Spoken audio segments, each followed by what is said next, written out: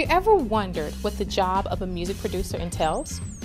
Well, music producers are like the unseen heroes that are behind the scenes working with other producers, the recording artists, record labels, a marketing team, and a band, and they oversee the creative and technical aspect of an album. Music producers are, I guess, they're like directors of film. they just kind of oversee it all. And in the end, it is the music producer's job to ensure that the album is as good as it can be. I'm Amy Bryant. Follow me down to South Beach Bar and Lounge, where we will honor four gentlemen along with Side by Side Entertainment for their outstanding production on platinum selling albums with Jay-Z, Justin Timberlake, and many, many more. Jerome Harmon, Christopher Godbey, Little Daniel Jones, and King Logan, we salute you.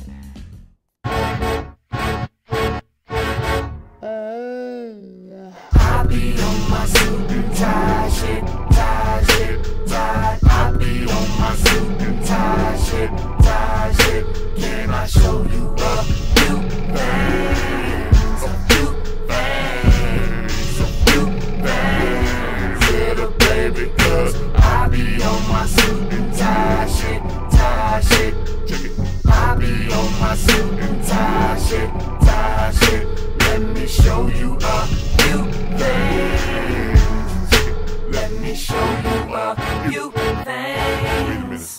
You ready, JT?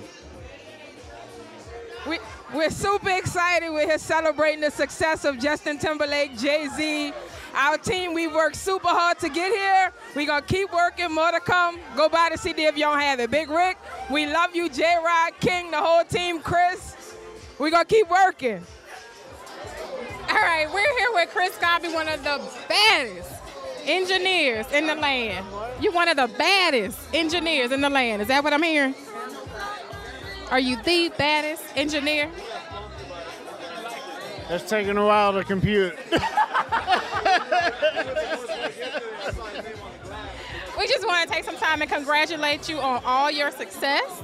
Um, everything, I mean, congratulations. I know you're just out there doing some amazing things. if it wasn't for me and the artists in Timbaland, there would be no Chris Godbey. So that's all there is. Awesome. trying to shake your hand. O- Okay, okay, yeah. Timbaland, Jay Z, Justin Timberlake. What's going on, y'all? It's your boy Big King, Royal Court Productions. Uh, this is my queen, Pam Kenyon. Some of y'all might know her from um, Fred Hammond and Radical for Christ. She one of the original members. Like y'all want to know my success, that's my success right there. You know what I'm saying? She the one with the Grammy. She the one with the platinum records. I ain't got that yet, but I got some records though. Uh, right now I'm working on some stuff for Jennifer Hudson, getting ready to go to, I think New York. I'm not mistaken, if I'm not mistaken. So we're gonna see what's up with that, man. You know, just try to have some fun, create some more good hit records, timeless records. I don't want to be a trendy producer, okay? I want to have it timeless. Quincy Jones, timeless. Stevie Wonder, timeless. But yeah, it's your boy Big King, man. Royal Court Productions, side by side and Xavier Entertainment, and I'm out. Just want to take the time to say congratulations, Mr. Jerome, Mr. J Rock. You are doing some major, major things, and we just want to take the time to congratulate you on your success. So, what's coming up? What's what's up? What's going on? What's coming up? What happened? What's been going on? I mean, fill me in. Nothing I have been doing different, you know, just on a different team now. That's all. And um, rolling with side by side entertainment, Rick. That's that's about it. That's just what happened. So, what has been the difference in your success with this team as um, compared to your team in the past? It's not really a big difference. It's just a different audience. That's all I can say. You know, I've been doing production for a while. Um, it's like I said, just rolling with my boy Rick now. So we're just making things happen. That's all. Awesome. Well, congratulations to you. Go ahead and get out the heat because you're starting to sweat. All right. So I met this dude when I went to Dallas, when I finally got to Dallas, and I told him what I was trying to do, and um, he did, he had a few hit records, um, Omarion, um, who else? A lot. Oh, there's a lot. so anyway, I, Icebox was his first number one record that he did, and That's going on like six years ago, and he's getting ready to go in with Jennifer Hudson next week. So y'all give him a round of applause for that.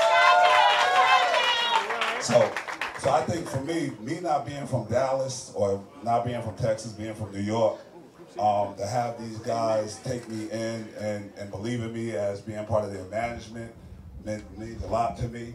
So I have in the house tonight, I got Jerome Harmon. Yep, yep. And Chris Garvey. Yes, sir. Come on. He over here. He over here. Yeah, I know. I'm calling Felicia. Oh, my bad. So, um, um, we got some plaques real quick that's really, they should have had a while ago. But here go the first number one plaque that Jerome and Chris both got for Say Something with Timbaland. This is their first number one plaque. I think, you know, just, just for them being from Dallas and me coming here and realizing how much talent is here and, and asking them to rock with me deserves a round of applause by itself. You know, but me not being from here and them believing in me and believing my movement and believing my vision means so much to me that they even decided to rock with my company and what we put together to try to make this happen. So in front of all of these people, I appreciate you guys for working so hard with me and being frustrated with me and you know just rocking out. So this plaque right here is their first number one plaque with Side by Side Entertainment. This is the Billboard Award that they got also. I think this deserves a round of applause. All right, so moving right along to right now, what's really present right now. We got Jay-Z that's out at their $560 records this week. Samsung bought 1 million, so if you can add, he really did 1,560,000 records. Y'all need to give it up for these two gentlemen for putting that. From Dallas, y'all give it up. Y'all need to give it up. So then, we got one other one. It's this light-skinned dude, right? He's really white, but I call him light-skinned. Justin Timberlake, y'all. Y'all give it up. Justin Timberlake sold 960,000 records his first week, and these two gentlemen helped with that whole thing, and here go they plaque for that. We got, we got 2 million 500,000 records sold for Justin Timberlake. This is presented to y'all. y'all. It's in the back. I didn't want to bring out eight plaques, so here y'all go. Justin Timberlake, girl. Y'all give it up. And so the last thing that I'm gonna do, and then we can get on with the band and stuff. Jerome did this big interview that that really probably didn't mean much to him, but it meant a lot to me because um, it was for Double XL. And huh? Right. Interviews can make you or break you, and he handles himself so well in interviews. They try and make him go against Tim. I've been with Timbaland 13 years, right? So I've been with Timbaland 13 years. I've been with Jerome six, Chris six, King eight, and so my whole thing is, he he, he told me he said, "Yo." I know how to do an interview. You don't have to worry about me doing interviews, man. Don't worry about me doing interviews. This is what I do. I said, all right, I'm not going to talk to you about it no more. And um, this double XL interview right here, my dude, it's for you. Yeah! So anyway, I'm gonna wrap this up and say that all the, I when I got to Dallas, when my wife brought me to Dallas, I was like, yo, the musicianship, these dudes are incredible. I'm trying to get Sean Martin, that's right there sitting at the drum set. I told you, you got me, baby. If I got Sean, that will make our team complete. I got Daniel, I don't know where he's at right now, but if I could get Sean Martin, y'all, everybody at the count three say Sean Martin, mess with Rick. My, my, my, my uh, second mom was here, so I can curse. On the count of three, say Sean Martin, mess with Rick.